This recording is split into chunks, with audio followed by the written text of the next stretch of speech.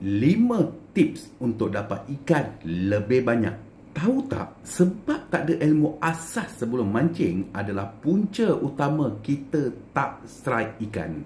Yang nombor 5 tu, kalau korang bijak buat pemilihan, korang akan dapat ikan.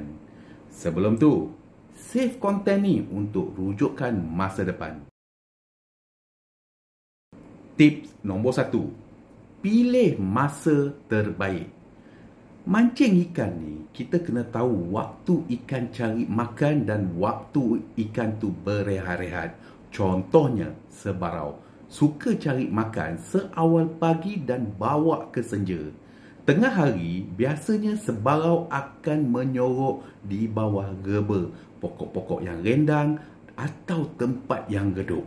Tips nombor dua pilih lubuk yang terbaik. Setiap kali kita mancing, kita kena tahu lubuk mana yang berpotensi dan lubuk macam mana ikan yang kita target tu duduk mengendap. Biasanya, setiap ikan akan ada habitat kebiasaannya.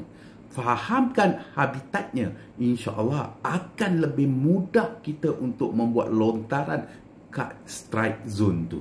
Tip nombor tiga kas jauh daripada target spot. Sentiasa kas jauh ke depan dari target spot dan pastikan time karau tu lalu area lubuk yang kita target tu.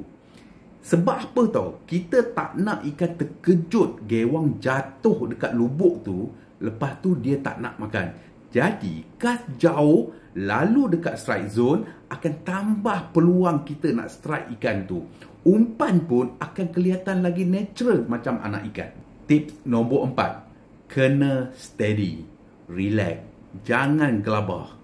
Bila ada ikan kejar umpan tu, jangan overexcited. Pastikan jangan stop dan elak kacau tempo karawan tu. Masa ni, korang akan terfikir, eh, mungkin aku sangat aku slow sangat kot. Eh, mungkin aku laju sangat kot. Sebab ikan akan tersedar tau bila ada perubahan pada lenggokkan gewang tu. Ada benda yang tak betul dengan umpan tu, ikan tu akan berhenti untuk menyerang. Tips nombor lima yang paling penting. Umpan guarantee strike. Pilih umpan yang betul dengan kawasan dan target ikan korang. Contohnya, mancing ikan sebarau, tengah pilih spoon silau atau celok-celok mancing haruan, gunalah geli-geli, nyot-nyot atau ong-ong. Pemilihan umpan yang betul akan menambah lagi peluang strike yang lebih tinggi. Semoga tip pancing ini membantu korang membuat pemilihan yang bijak.